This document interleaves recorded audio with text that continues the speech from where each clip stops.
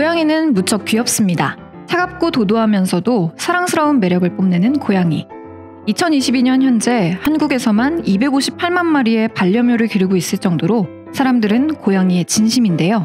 그런데 요즘같이 고양이에 미친 세상이 오기 무려 160년 전부터 고양이에 미쳐있던 그리고 고양이 때문에 미쳐버린 작가가 있었습니다.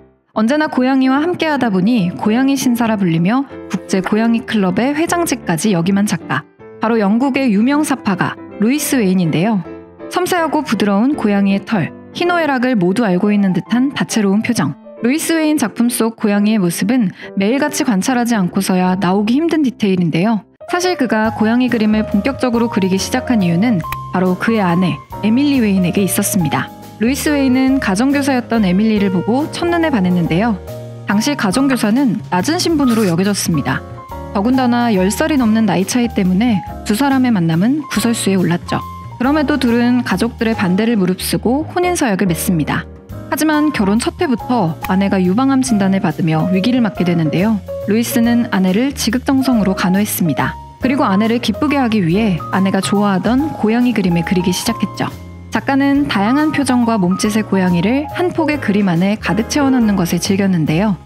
그의 대표작 고양이들의 크리스마스 파티는 고양이가 무려 150마리나 등장합니다. 장장 11일의 시간을 들여 완성된 작품인데요. 작가는 고양이를 본 후 그 인상을 재가공해 그리는 과정을 반복했습니다. 그 덕분인지 저마다 다른 표정으로 파티를 즐기는 고양이들의 모습이 두드러지죠.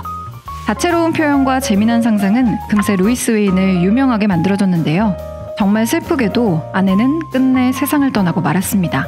루이스는 아내의 죽음 이후 더욱 고양이 그림에 몰두했습니다. 특이하게 그가 고양이 그림을 그릴수록 그 모습은 마치 사람의 모습처럼 바뀌었죠. 골프를 즐기는 고양이, 안경과 중절모를 쓴 채 신사처럼 걷는 고양이 등 그림 속 고양이의 모습에는 사람이 일상에서 자주 행하는 행동이 고스란히 담겨 있습니다. 아내의 병상 생활에서 얻은 슬픔을 자신만의 예술로 재탄생시킨 예술가. 마치 사람처럼 그림을 담는 루이스의 도전은 훗날 톰과 제리 같은 고양이 의인화의 시초가 됐죠. 사실 고양이가 지금처럼 사랑받게 된 건 얼마 되지 않은 일입니다. 고양이가 병균을 옮기는 주범이라 평가받기도 했고 고양이의 도도한 태도는 길들여지지 않는 동물이란 인식이 되기도 했죠. 루이스 웨인이 살았던 시기 고양이는 그저 박해의 대상에 불과했습니다. 그렇다면 루이스 웨인은 왜 고양이를 사랑하게 됐을까요? 그 이유는 루이스 웨인에게 영혼의 단짝과도 같은 고양이가 있었기 때문입니다. 바로 피터죠.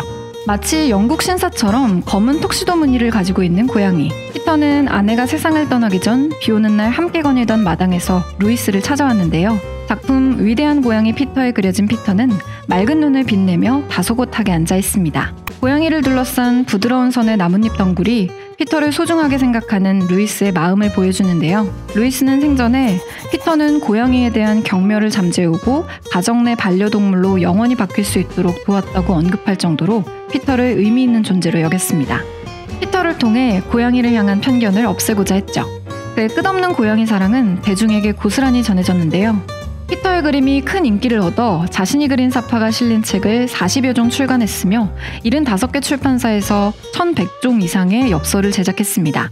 밝고 긍정적인 에너지를 전달하는 고양이 엽서는 영국 국민의 크리스마스, 생일, 결혼식 등 각종 기념일을 축하하는 소식통이 되기도 했습니다. 불과 15년에서 20년 전까지만 해도 루이스의 작품이 걸려있지 않은 집을 찾아볼 수 없었다는 말이 나올 정도였는데요. 실제로 당시 영국 대부분의 어린이들은 루이스가 그린 그림으로 가득한 동화책을 읽으며 어린 시절을 보냈고 어른들은 매일 아침 그의 사파와 기사가 실린 신문을 읽으며 하루의 시작을 고양이와 함께할 정도였다고 하니 얼마나 그 당시 인기가 많았는지 엿볼 수 있는 대목이기도 합니다.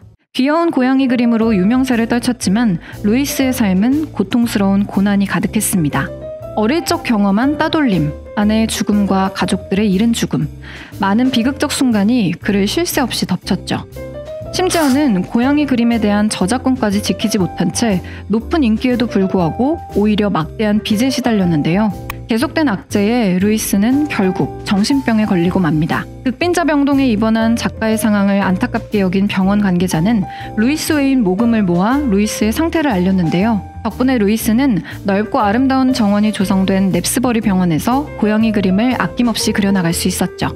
루이스가 당시 그렸던 작품들을 보면 고양이가 등장하는 아름다운 정원 뒤로 병원 건물이 배경으로 등장하는 걸 쉽게 볼 수 있습니다. 넓은 정원에서 마음껏 고양이 그림을 그리면서 작가는 병든 마음을 치유할 수 있었죠. 투병 시기 그의 작품에선 과슈, 컬러 석 판화를 사용한 다채로운 색감의 고양이 작품들을 찾아볼 수 있는데요. 펜과 잉크를 사용할 수밖에 없던 과거와 달리 더 다양한 재료로 그림을 그릴 수 있었기 때문이죠. 만화경 고양이 시리즈는 제작 순서를 알 수 없어 추후 한 정신과 의사가 임의로 순서를 매긴 작품으로 화려한 색의 구분선과 함께 점점 잘게 해체되는 고양이의 형태가 눈에 띄는데요. 정신분열증 증세를 보인 루이스 웨인의 바뀌어가는 정신 상태를 보여주는 작품 시리즈로 알려져 있죠. 하지만 작가의 어머니가 여러 색실을 엮어 만드는 직물 디자이너였다는 사실 덕분에 해석은 관람객의 몫으로 남게 됐습니다. 자신의 옭아매는 현실의 삶에 굴하지 않았던 루이스. 루이스의 작품 속 고양이는 병에게 보란 듯이 더욱 자유롭고 행복한 모습으로 그려졌죠. 세상에서 가장 고양이를 사랑한 작가 루이스 웨인. 고양이로 한가득 채워진 루이스 웨인의 작품을 한국 최초로 직접 만나볼 수 있는 기회가 찾아왔습니다. 이번 전시는 저희 널 위한 구구 티켓과 함께 하는데요. 널 위한 구구 티켓은 한정된 수량으로 마련돼 99명만의 art lover를 위해 특별한 관람 경험을 제공합니다. 티켓 할인 혜택은 물론 99분만을 위한 엽서 세트 혜택까지 오직 널 위한 문화예술 독자들을 위해 한정 수량으로 준비한 만큼 구매를 원한다면 서둘러 주세요. 굿즈가 포함되지 않은 최저가 티켓 구매도 영상 설명란과 댓글 링크를 확인해 주세요. 널 위한 문화예술이 추천하는 6월의 전시 루이스 웨인전 오늘 전시는 어떠셨나요? 전시를 가실 분들 그리고 아쉽게도 못 가시는 분들 모두에게 유익한 시간이 되었길 바랍니다. 여러분이 기대 중이거나 궁금한 전시가 있다면 댓글로 남겨주세요. 그럼 다음 영상에서 만나요. 안녕!